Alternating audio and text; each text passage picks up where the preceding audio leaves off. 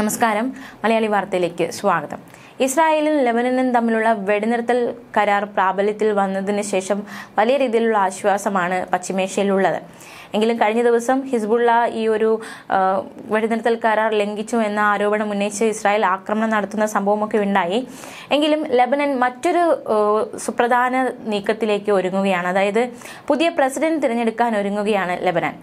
രാഷ്ട്രത്തലവനില്ലാതെ രണ്ട് വർഷമായി രാജ്യം ആയിരിക്കുകയാണ്. ജനുവരി ഒമ്പതിന് പാർലമെന്റ് യോഗം ചേരും. സ്പീക്കർ നബീഗ് ബെറിയാണ് ജനുവരി ഒമ്പതിന് പ്രസിഡന്റിനെ തിരഞ്ഞെടുക്കാനായി യോഗം ചേരാൻ ആഹ്വാനം ചെയ്തത്. ഒക്ടോബർ രണ്ടായിരത്തി ഇരുപത്തിരണ്ടിൽ മൈക്കിൾ ഔനിന്റെ കാലാവധി കഴിഞ്ഞു. ഇതോടെയാണ് ലെബനൻ പ്രസിഡന്റ് ഇല്ലാത്ത ഒരു തലത്തിലേക്ക് എത്തിയത്.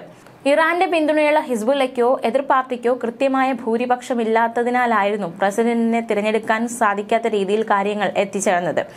പക്ഷേ ബുധനാഴ്ച ഇസ്രായേലുമായുള്ള വെടിനിർത്തൽ കരാർ പ്രാബല്യത്തിൽ വന്നു. ഇതോടെ ലബനൻ പ്രധാനമന്ത്രി ഇത് രാജ്യത്തിന്റെ ചരിത്രത്തിൽ പുതിയൊരു അധ്യായമാവുമെന്നൊരു പറയുകയും പുതിയൊരു പ്രസിഡന്റിന്റെ തിരഞ്ഞെടുപ്പിലേക്ക് വരും ദിവസങ്ങൾ എത്തട്ടെ എന്ന് ഒരു സൂചന നൽകുകയും ചെയ്തു. ഹിസ്ബുല്ല സഖ്യകക്ഷികൾക്ക് നേതൃത്വം നൽകിയ സ്പീക്കർ നബീഗ് ബറി പ്രസിഡന്റിനെ അതിവേഗം തിരഞ്ഞെടുക്കേണ്ടതിന്റെ ആവശ്യകതയെക്കുറിച്ച് ചൂണ്ടിക്കാണിക്കുകയും ചെയ്തു. പ്രസിഡൻഷ്യൽ തിരഞ്ഞെടുപ്പിനായി ഹിസ്ബുല്ല ഫലപ്രദമായ സംഭാവന നൽകുമെന്ന് ഹിസ്ബുല്ല തലവൻ നവീൻ ഖാസി വ്യക്തമാക്കി. നിയമത്തിന്റെ അടിസ്ഥാനത്തിലാണെങ്കിൽ ലബനാന്റെ പ്രസിഡന്റ് സ്ഥാനം ഒരു മറോണൈറ്റ് ക്രിസ്ത്യാനിക്കും പ്രീമിയർ സ്ഥാനം ഒരു സുന്നി മുസ്ലിമിനും സംവരണം ചെയ്തിട്ടുണ്ട്.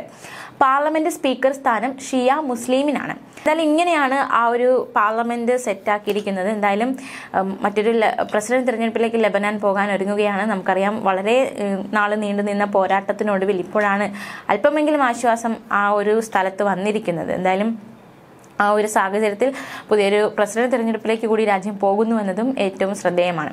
അതേസമയം പതിനാല് മാസങ്ങൾ നീണ്ട ആക്രമണത്തിന് ശേഷം വെടിനിർത്തലിലൂടെ താൽക്കാലിക പരിഹാരമായെങ്കിലും ഇസ്രായേൽ ലബനാൻ സംഘർഷം അവസാനിക്കുന്നില്ല. അറുപത് ദിവസത്തേക്കാണ് വെടിനിർത്തൽ. അതിർത്തി പ്രദേശങ്ങളിലേക്ക് മടങ്ങാൻ കുടുംബങ്ങളെ അനുവദിക്കാൻ സമയമായില്ലെന്ന് ഇസ്രായേൽ പ്രധാനമന്ത്രി നെതന്യാഹുവും പ്രതിരോധ മന്ത്രി ഇസ്രായേൽ കാറ്റ്സും ഉത്തരവിട്ടു.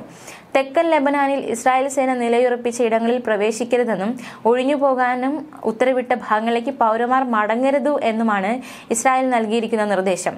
മാത്രമല്ല ലിറ്റാനി പുഴയുടെ വടക്ക് ഭാഗത്തുള്ള ഹിസ്ബുള്ള പ്രവർത്തകർ പിൻവാങ്ങണം എന്നൊരു ഉപാധി കൂടി മുന്നോട്ട് വെച്ചിട്ടുണ്ട്. മാത്രമല്ല ദക്ഷിണ ലെബനാൻ അതിർത്തിയിൽ നിന്നും ഏതാനും പേരെ ഇസ്രായേൽ പിടികൂടി. ഇത് വെടിനിർത്തൽ കരാർ എന്ന ആ ഒരു പ്രതീക്ഷകൾക്കൊരു തിരിച്ചടിയായോ എന്ന ചോദ്യം ശക്തമാണ്.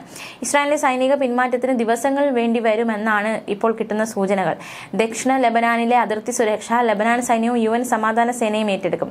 യു എസ് പ്രതിനിധി ഹമോസ് ഹോസ്റ്റിൻ ബെയ്റൂട്ടിൽ ക്യാമ്പ് ചെയ്ത് ഇരുപക്ഷവുമായി ആശയവിനിമയം നടത്തും. അതേസമയം ഫലസ്തീൻ ജനതയ്ക്കൊപ്പം ചേർന്ന് അധിനിവേശത്തിനെതിരായ പോരാട്ടം തുടരുമെന്ന് ഹിസ്ബുല്ല നേതൃത്വം ആ നിലപാടിൽ തന്നെ ഉറച്ചു നിൽക്കുകയാണ്. ലബനാന്റെ പരമാധികാരവും സ്വാതന്ത്ര്യവും ഉറപ്പാക്കാൻ ജാഗ്രതയോടെ നിലയുറപ്പിക്കുമെന്നും ഹിസ്ബുല്ല അറിയിച്ചു.